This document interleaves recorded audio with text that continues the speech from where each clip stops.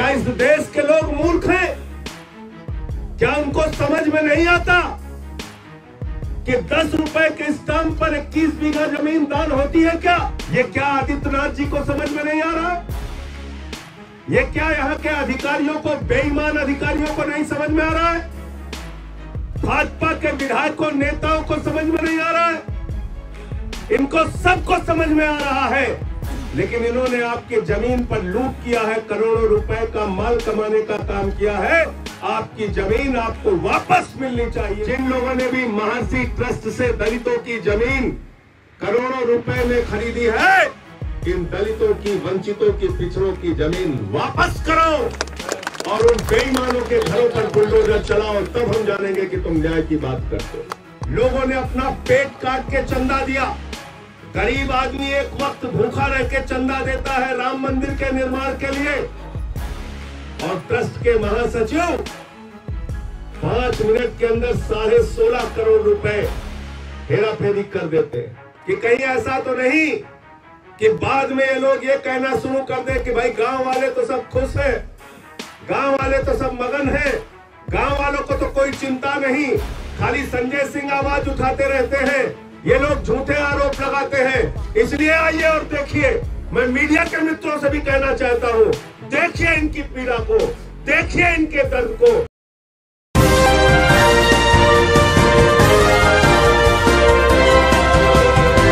उपस्थित गाँव के हमारे किसान भाइयों, माताओं और बहनों, बुज़ुर्गों, मुझे जब पता चला कि माझा बराटा में समाज के वंचित लोगों की ज़मीन, पिछड़े वर्ग के लोगों की ज़मीन, दलितों की ज़मीन औने पौने दामों में दस हज़ार, पाँच हज़ार रुपए में नब्बे के दशक में ली गई और लिया गया अस्पताल बनाने के नाम पर, जैसा अभी महादेव जी ने बताया, हमारी माताओं, बहनों ने बताया गाँव के भोले भाले लोग, इन लोगों ने अस्पताल बनाने के लिए अपनी ज़मीन औने पौने दामों में दे दी। स्कूल और कॉलेज बनाने के नाम पर अपनी ज़मीन औने पौने दामों में दे दी। और जिस रोंघई को ज़मीन बेची, उस रोंघई ने 21 बीघा ज़मीन दस रुपए के स्टाम्प पर दान कर दी।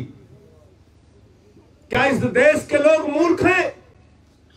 क्या उनको समझ में नहीं आता कि दस रुपए के स्टाम्प पर 21 बीघा ज़मीन दान होती है क्या? जो रोंघई ज़मीन दान कर रहा है, वो खुद प्रधानमंत्री आवास में रहता है।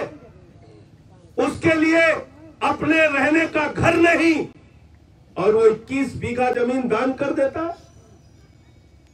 ये क्या आदित्यनाथ जी को समझ में नहीं आ रहा? ये क्या यहाँ के अधिकारियों को बेईमान अधिकारियों को नहीं समझ में आ रहा है? भाजपा के विधायकों, नेताओं को समझ में नहीं आ रहा है? इनको सबको समझ में आ रहा है, लेकिन इन्होंने आपके ज़मीन पर लूट किया है, करोड़ों रुपए का माल कमाने का काम किया है। आपकी ज़मीन आपको वापस मिलनी चाहिए, तब तक आपकी लड़ाई लड़ी जाएगी। आज आप देख रहे हैं हमारी माताएँ बहनें यहाँ पर रो रही है। इनकी ज़मीन इनसे छीन ली गई। और कौन से लोग ज़मीन की प्लाटिंग कर रहे हैं? वो महर्षि ट्रस्ट का कागज़ मुझे अरविंद यादव ने उपलब्ध कराया। वह ट्रस्ट के उद्देश्य में लिखा है रामचरित मानस के प्रचार प्रसार ही संस्था बनी है। रामचरित मानस का प्रचार कर रहे हो तुम। प्लाटिंग करके ज़मीन बेच रहे हो और लिखा है कि संस्था बनी है रामायण का प्रचार के लिए रामचरित मानस के प्रचार के लिए, आपदाओं में लोगों की सहायता करने के लिए। और बताइए, सड़क की ज़मीन, ग्राम सभा की ज़मीन, प्रभु श्री राम की ज़मीन सबकी ज़मीन वो ट्रस्ट हड़प के प्लाटिंग करके बेच रहा है। इसलिए मैं आपको भरोसा दिलाना चाहता हूँ। आदित्यनाथ जी ने भी तीन दिन पहले कहा, जो गरीबों की ज़मीन को हड़पेंगे, उनके ऊपर बुलडोजर चलवाया जाएगा। मैं कहना चाहता हूँ, आदित्यनाथ जी, अगर आपके अंदर जरा सी भी न्याय के न्याय के जरा सा भी आपके अंदर दिमाग और दिल में कण बचा हुआ है। तो आइए इस गाँव में भारतीय जनता पार्टी के जिन नेताओं ने उनके रिश्तेदारों ने, मेयर ने, विधायक ने, यहाँ के कमिश्नर रह चुके, डीएम रह चुके, एसडीएम रह चुके, एडीएम तमाम सीआरओ तमाम अधिकारी, जिन लोगों ने भी महर्षि ट्रस्ट से दलितों की ज़मीन करोड़ों रुपए में खरीदी है इन दलितों की, वंचितों की पिछड़ों की ज़मीन वापस करो और उन बेईमानों के घरों पर बुलडोजर चलाओ, तब हम जानेंगे कि तुम न्याय की बात करते हो। वरना ये मूर्ख बनाना बंद कीजिए। लोगों के, लोगों को बेवकूफ़ बनाना बंद कीजिए। हमने देखा इसी अयोध्या के अंदर क्या क्या घपलेबाजी हो रही है। प्रभु श्री राम के मंदिर निर्माण के नाम पर एक ट्रस्ट बना। लोगों ने अपना पेट काट के चंदा दिया। गरीब आदमी एक वक्त भूखा रह के चंदा देता है राम मंदिर के निर्माण के लिए। और ट्रस्ट के महासचिव, पाँच मिनट के अंदर साढ़े सोलह करोड़ रुपए हेरा फेरी कर देते हैं। भाजपा नेताओं के साथ मिलके, यहाँ के मेयर के साथ मिलके, दो करोड़ में जो ज़मीन सुल्तान अंसारी और रवि मोहन तिवारी ने पाँच मिनट पहले खरीदी, उसको पाँच मिनट के बाद साढ़े अठारह करोड़ में बेच दी। इस प्रकार की बेईमानी चल रही है। इस प्रकार का भ्रष्टाचार चल रहा है। तो आज तो सिर्फ़ आपसे मुलाकात करने का उद्देश्य था। आपसे मिलने के लिए मैं आया, क्योंकि मैंने सोचा कि कहीं ऐसा तो नहीं कि बाद में ये लोग ये कहना शुरू कर दे कि भाई गाँव वाले तो सब खुश हैं। गाँव वाले तो सब मगन हैं। गाँव वालों को तो कोई चिंता नहीं। खाली संजय सिंह आवाज़ उठाते रहते हैं।